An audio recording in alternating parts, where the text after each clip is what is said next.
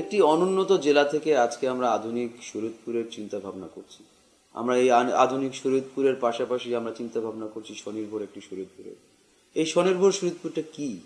এই স্বনির্ভর শরীয়তপুরটা এটাই যে আমরা একটি কর্মযোগ্য জাতি হিসেবে স্বীকৃতি লাভ করব।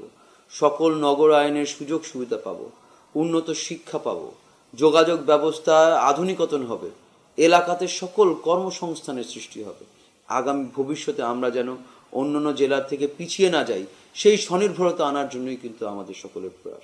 একসে- একটি মাস্টার প্ল্যানের মধ্যে দিয়ে আমরা এই এলাকাতে আমরা আরও বেশি করে অসম্ভবকে সম্ভব করতে চাই। আমাদের সকলের প্রিয় মাননীয় প্রধানমন্ত্রী জননেত্রী শেখ হাসিনার সাহসী ভূমিকার কারণে আজকে আমরা এই অসম্ভবের জায়গায় চিন্তা করতে পারছি।